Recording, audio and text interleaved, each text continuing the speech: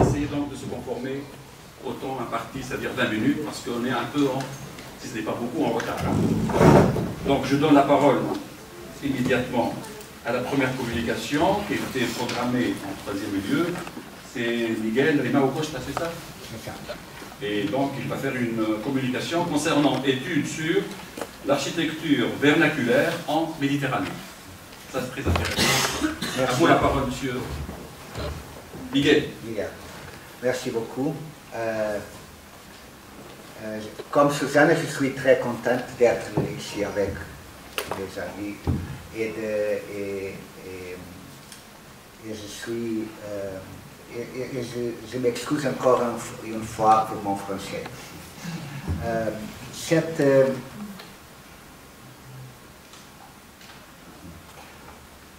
Euh, cette communication porte sur l'architecture euh, vernaculaire des régions berbères du Maghreb, euh, cherchant à contribuer à la connaissance de l'organisation de l'espace d'habitation et à l'interprétation de sa diversité typomorphologique. Euh, nous voulons euh, caractériser les habitations des différentes régions du Maroc, de l'Algérie et de, de la Tunisie sur la base du travail de terrain, de l'élaboration de dessins et de la lecture d'ouvrages de référence. Euh, les régions montagneuses du Maghreb ont été euh, considérées dans différentes circonstances comme des territoires de permanence euh, de la culture et de l'architecture berbère dans un contexte historique marqué par différentes civilisations. En, en grand- en grande partie, la carte de répartition des communautés berbères rapproche ses limites à celles de- des montagnes qui s'étendent de la côte occidentale du Maroc à la côte, à la côte orientale de la Tunisie. L'étude de ces régions a révélé une grande diversité d'architecture domestique visible au niveau des ma- matérialités, des techniques de construction, de l'organisation du logement, des solutions typomorphologiques et du peuplement. Euh, la maison traditionnelle organisée autour d'un patio à ciel ouvert est, sous ses différentes formes, une solution très courante dans les régions montagneuses du Maghreb. Euh, la centralité du patio dans le logement est conférée en, en termes de distribution, d'organisation des activités, ménagères, d'éclairage et de ventilation du logement. En tout état de cause, le- les régions montagneuses du Maghreb te- tendent à conférer des aspects particuliers au modèle de la maison à patio is- islamique. Les villages berbères du massif nord- au nord-est de la Tunisie, constituent un exemple très intéressant de l'adaptation de la maison à patio aux conditions euh, particulières de la montagne. L'habitation du village abandonné de Zribaoli montre le processus évolutif de l'édification, comme c'est le cas dans de, nombreuses maisons à patio dans euh, des régions étudiées. L'accès à l'habitation se fait par un espace multifonctionnel et une entrée droite sur le patio, renonçant à l'accès en chicane présent dans d'autres maisons du village. La, construction de l'habitation dans une zone euh, en pente a donné lieu à des solutions distinctes d'intégration des dépendances pour le bétail, lesquelles pouvant se trouver sous l'habitation ou être associées à un deuxième espace extérieur non couvert. Parfois, l'idée de l'habitation organisée autour de divers espaces ouverts ne se limite pas à la différence entre patio et chorale, puisqu'il a été euh, possible de constater l'éclatement du patio central en divers et différents espaces.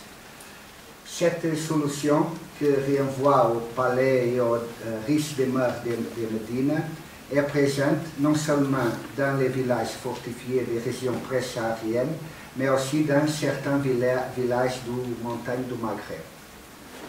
Le processus de construction progressive est organisé à partir de la concession de plusieurs espaces extérieurs distincts qui sont articulés par des pièces ou des couloirs dans certains cas euh, couverts.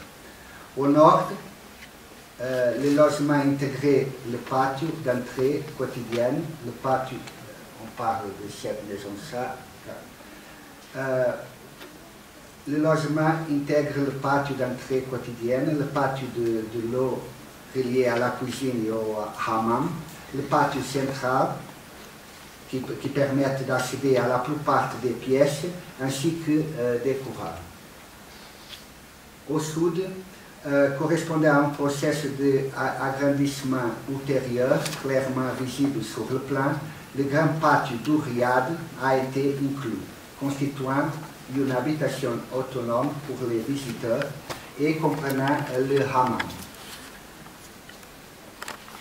ainsi que l'espace de production au sud-ouest de plus grande taille comprenant le, potager et le, et le. Euh, à l'opposé, la disposition de diverses dépendances pour les personnes bétail autour d'un même espace extérieur avec des fonctions de bergerie est toujours, dans certains cas, une solution très répandue. En parallèle, certains euh, de ces villages secondaires assistent à la consolidation de la maison de cour lors de la transformation de logement saisonnier en logement permanent.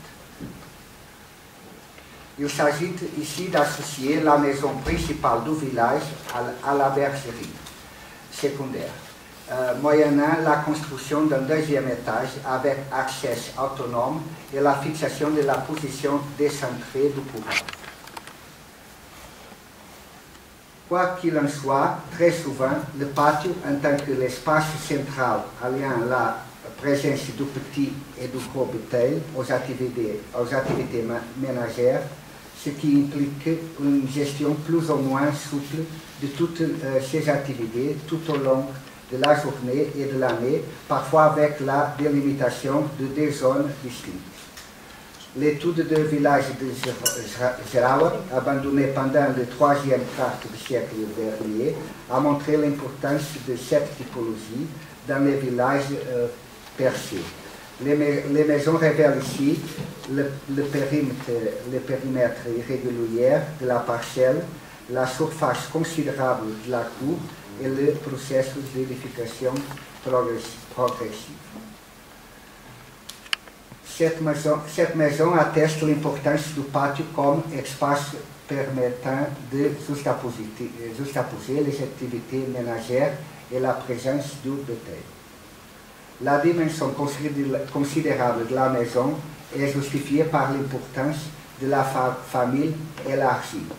L'un des aspects les plus particuliers des maisons de la région est lié à la prolifération récurrente de volets d'escalier qui fragmentent la galerie de l'étage supérieur.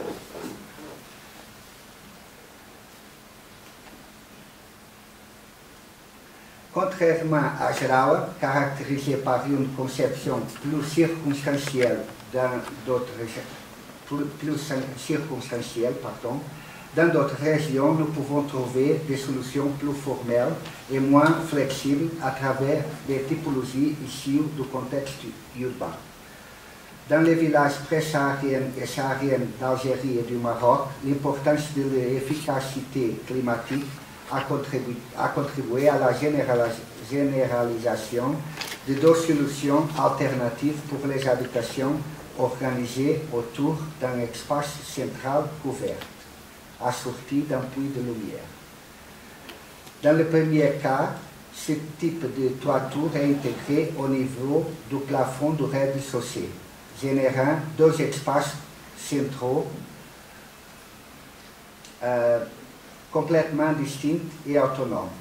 Le reste du est très sombre, éclairé, éclairé, uniquement par une petite lucarne au, au plafond, et l'étage découvert est très souvent dépourvu d'éléments d'ombrage.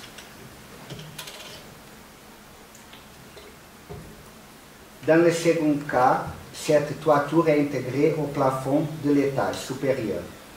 Générant un espace central à double hauteur du plafond avec une galerie supérieure et des, relations visuelles intéressantes entre les étages. La dimension de cet espace central varie considérablement selon les sous-unités géographiques mentionnées. Peut présenter plus de 10 mètres de longueur latérale et donner lieu à un pâté avec un péristyle à deux étages. Cependant, même lorsque, le logement rural reconstituait la concession urbaine de manière L'espace central de l'habitation se décompose en différentes ambiances en hauteur. Il inclut la présence du bétail parmi la multiplicité des fonctions du reste sociaux. Il relègue les principales activités ménagères à l'étage supérieur, agrandissant les galeries qui constituaient le principal espace de séjour de l'habitation.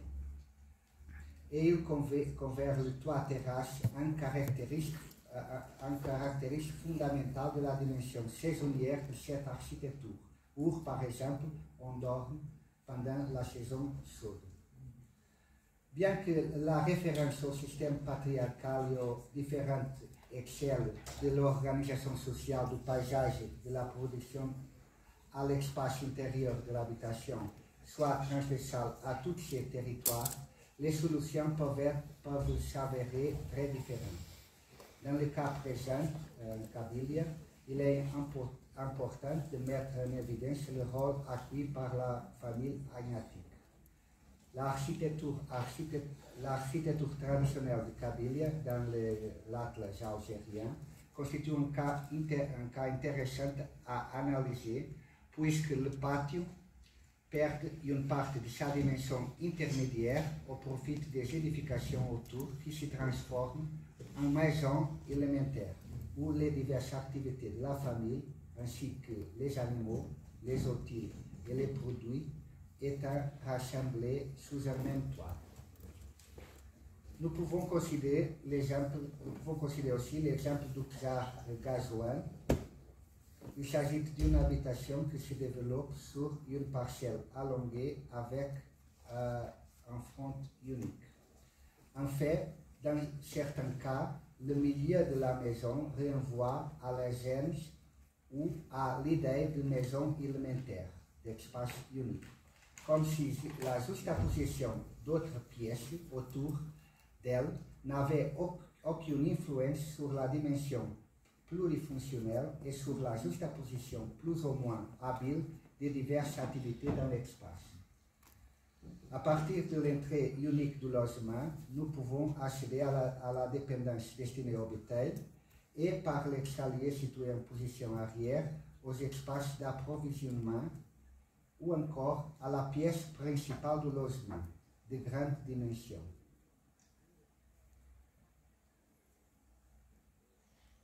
Euh, à, à sur la bordure nord du Haut-Atlas oriental, au Maroc, L'adaptation au promontoire se traduit par la construction de différentes pièces à plusieurs niveaux, articulées par de petites euh, volets d'escalier.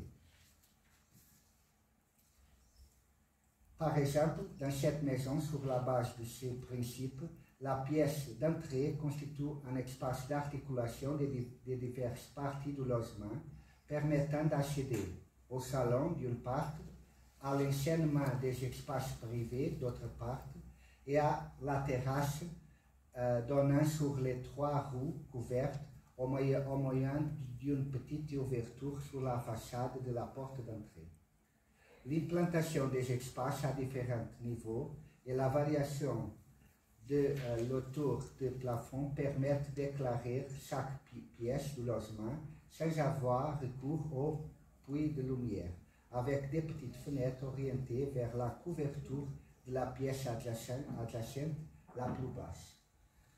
Ainsi, dans les régions de haute montagne, en remontant des vallées les plus basses vers les régions les plus élevées, nous constatons un changement significatif dans les, agglomérations qui s'expriment au niveau des modèles de peuplement, de l'organisation de l'habitation et des techniques de construction elles-mêmes. Très souvent, le patio à ciel ouvert autour duquel l'habitation est organisée dans les régions au niveau inférieur disparaît dans les, villages plus élevés. La, la maison de Tisli relève l'implantation récurrente du bâtiment à flanc de colline, ce qui permet un accès séparé à l'épourri et au grenier à foin, à l'étage inférieur et à la maison elle-même, à l'étage. En termes d'organisation interne, cette habitation reprend le, le principe d'enchaînement de plusieurs espaces aux dimensions comparables, associés à une distribution circonstancielle de diverses activités ménagères et intégrant une pièce pour l'installation saisonnière du repos de chèvres au cours de la maison. L'absence du patio dans ces régions accentue l'importance de la couverture de la terrasse en tant qu'espace extérieur pour de multiples activités, la conservant comme espace dominé par les fermes, ce qui est transversal aux, diverses régions étudiées. Très souvent, l'importance du toit terrasse est confirmée par l'existence d'un porche parfois associé à, à une structure intégrale en bois. Ces porches permettent de délimiter un espace protégé des conditions climatiques et simultanément de la vue à partir des terrasses des maisons voisines. Mais dans certains cas, les porches étant également reproduits aux étages intermédiaires, comme c'est le cas dans plusieurs villages du Haut-Atlas central, comme Magdas, où ils sont appelés Amalal, ou dans les Haut-Atlas oriental, où ils sont appelés Ashkif. L'habitation d'Agadir ou Anzigen, située à l'extrémité ouest du Haut-Atlas, est, est, un exemple intéressant allant de manière exemplaire divers aspects que nous avons décrits pour les habitations de montagne. Néanmoins, cette maison constitue un système notable de la transformation de l'habitation de montagne du Maghreb qui allie divers éléments et espaces avec une construction en pente et un accès indépendant à chacun des étages. Le choral à l'étage inférieur positionné sur le plan au centre géométrique de l'ensemble bâti, mais simultanément, simultanément en, position, en position excentrée dans la composition de l'accessibilité des différents espaces. Le patio, qui sert également de terrasse à l'étage intermédiaire, espace central dans l'articulation des pièces d'habitation, présentant différentes stratégies de protection de l'ambiance domestique, et la terrasse euh, avec porche euh, à l'étage tournée vers le paysage, plutôt destiné aux visiteurs et associé à la présence du salon. Encore deux minutes, Pedro? Minutes. Euh, L'étude systématique de l'architecture traditionnelle tend à révéler une diversité typologique de la maison dans les différentes unités paysagères qui s'expriment au niveau diatopique et diachronique. La délimitation d'un ensemble de thèmes transversaux peut contribuer à l'histoire de l'architecture des montagnes du Maghreb, qui dépend nécessairement d'une approche transdisciplinaire à prendre en compte dans chaque euh, euh, domaine d'étude. La référence au patio dans les maisons de ces régions soulève plusieurs questions à la lumière de l'histoire de la culture et de l'idée de contraste entre la maison amazigue au berbère et la maison arabe, ou plus précisément, comme le soutiennent certains auteurs, entre le type monocellulaire de la maison dite berbère, tournée vers son intérieur, et le type pluricellulaire et concentrique de la maison arabe organisée autour d'un patio ouvert. Cependant, l'étude de l'architecture traditionnelle ne fait pas ressortir l'idée d'une maison berbère authentique mais d'innombrables architectures qui, dans leur ensemble, reflètent des circonstances géographiques très distinctes et en même temps un cadre complexe de relations avec autres cultures, évidente dans la prépondérance de modèles successifs provenant de l'extérieur et dans la production de solutions internes qui euh, révèlent l'importance décisive des cultures locales. Merci beaucoup. Merci Miguel.